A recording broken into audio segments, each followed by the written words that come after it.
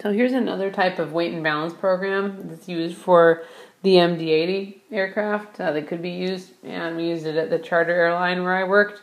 I've got it already loaded with some passengers. Uh, we have 52 people in Zone A, 50 in Zone B, 53 in Zone C. So unlike the CRJ, we had two sections. The MD-80 is a longer aircraft, and we have three different cabin sections set up here.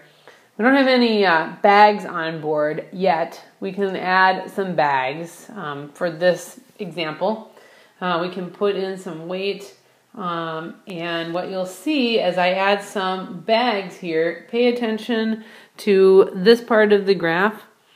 Um, over here, we have lines that are about to be drawn. And as these lines get drawn, you will see the CG of the airplane move. Right now, the center of gravity of the airplane is right here, and it's just outside our allowable envelope. So here's our envelope. So as I add some some bags on board in the different cargo holds, um, you'll you'll see what happens here. So let's add some weight in the different cargo bins.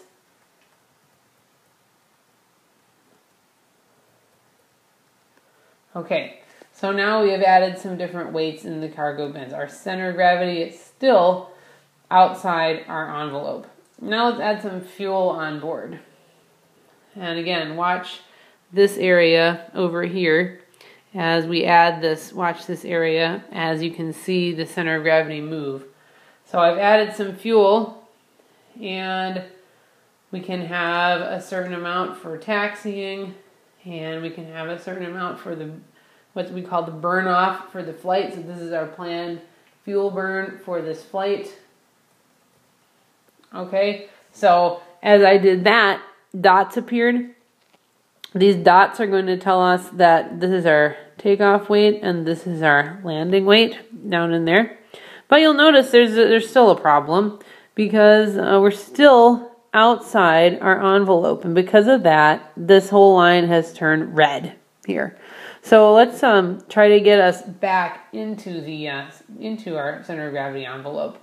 We're out the forward CG, so let's take out the anything that's in the front of the aircraft. So I've taken out everything that's in the first cargo bin in the front of the aircraft.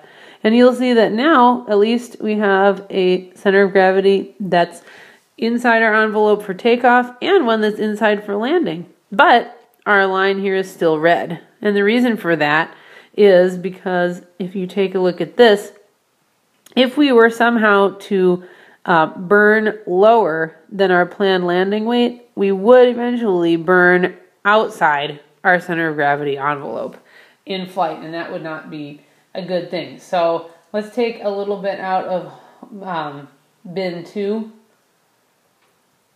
And just that is that easy. We have now got everything inside the center of gravity envelope that's allowed.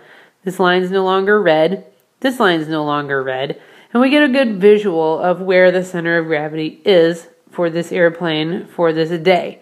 Now, this um, program has some options that we can put on it.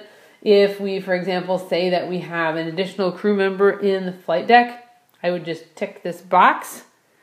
And once our box is ticked down here, you actually see that even just adding one person in the flight deck has tripped our CG again. So now we're too far forward again. Um, you can kind of see from this, uh, the MD-80 has a forward CG issue. It has two big engines at the back, or medium-sized engines, but it still has a forward center of gravity issue, just because of how much of the cabin is forward of the wing, where the airplane typically is going to have its center of gravity located. So that's just an example of how that can happen. The other thing that's interesting with this program um, if I look at these different configurations shown here, we had a ferry configuration and a reposition configuration. In these configurations, we weren't looking at how many passengers might be walking around the cabin at any time, how many might be going to the lavatory at any one time.